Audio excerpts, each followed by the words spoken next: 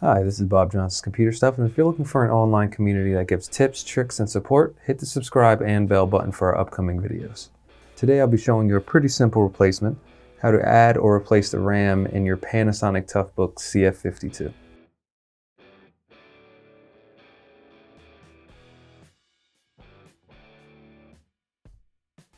First thing you want to do is flip the machine over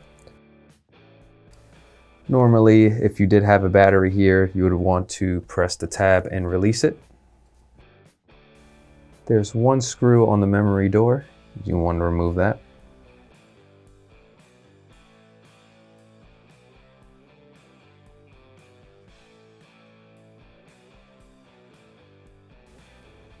And now that it's exposed, you can replace the RAM or memory. Since this is just an example unit, I'll put that right back.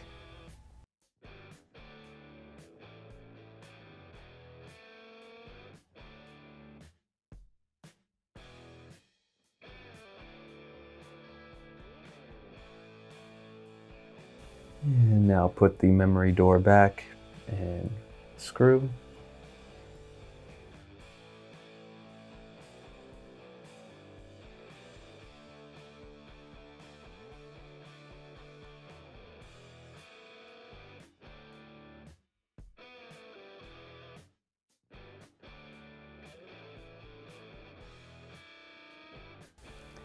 And that's it.